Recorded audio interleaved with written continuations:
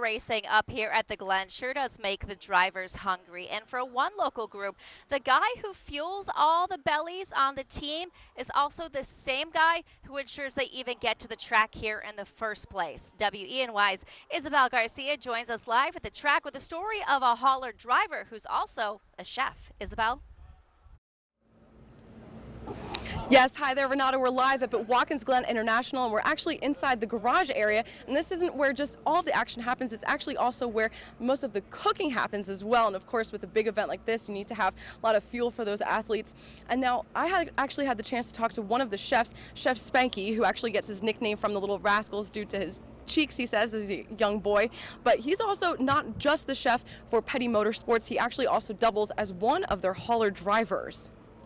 Meet Jason Edison, also known as Chef Spanky. He's the full time cook for Petty Motorsports, and with a team sponsorship of Smithfield Meats, he says bacon is always on the menu. With 90% of the garage, they come to us, you know, and want bacon in the mornings, which we try to keep bacon all day long because, of course, that's our main product we got at the racetrack. When he's not behind the grill, he's behind the wheel. Chef Spanky is also one of two hauler drivers for the team, and that job has its own list of responsibilities there's a lot more to it than just driving this truck. You know, not only we drive it, we cook. You know, if we have to help work on the race car, I'll jump in there and work on the race car. Chef Spanky says he appreciates the opportunity to be trusted behind the wheel. Knowing that I'm one of these lucky 40 truck drivers in this garage that travel the country pulling all these, these nice race cars, and you're definitely in, in beautiful equipment. And the best part about cooking, he says it's being creative and being able to see people's reactions. I enjoy seeing their expressions. You know, every week I try to break it up with what I cook, you know, because we're on the road 36, 37 weeks out of the year. Chef Spanky says he'll be cooking all day Friday and Saturday, but the real rush comes on the big race day for Sunday. Sundays are really your busy day because we have a, probably 100, 150 guests, depending on who all comes.